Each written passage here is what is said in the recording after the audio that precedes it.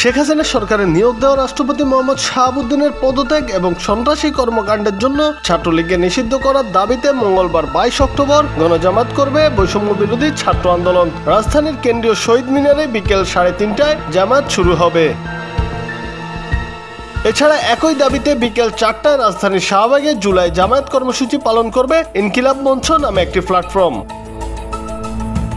সম্প্রতি মানব জমিনের সম্পাদক মতিউর রহমানের সঙ্গে এক সাক্ষাৎকারে রাষ্ট্রপতি বলেন, শেখ হাসিনার পদত্যাগের বিষয়ে কোনো দালিলিক প্রমাণ নেই। এ ঘটনায় শিক্ষার্থীরা রাষ্ট্রপতির প্রতি ফুসে উঠেছেন। এই ঘটনার পর সোমবার সন্ধ্যায় বৈষম্য বিরোধী ছাত্র আন্দোলনের ব্যানারে ঢাকা বিশ্ববিদ্যালয়ে আয়োজিত সমাবেশে ছাত্রলীগের নিষিদ্ধ করার পাশাপাশি রাষ্ট্রপতির পদত্যাগের দাবি জানান শিক্ষার্থীরা।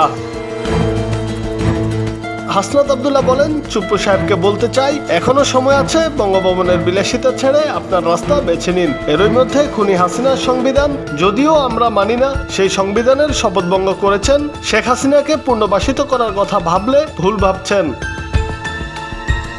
শেখ হাসিনার পুনর্বাসন এই বাংলার মাটিতে আর কোনোদিন হবে না। খুনি হাসিনাকে বাংলায় আসতে হবে, তাকে বিচারের মুখোমুখি করা হবে, ফাঁসিতে তাকে ঝুলতেই হবে। রাষ্ট্রপতির পদত্যাগের দাবিতে ঢাবি সাবিপ্রবি ফেনী সহ দেশের বিভিন্ন স্থানে সোমবার একুশ অক্টোবর রাতে মশাল মিছিল হয়েছে।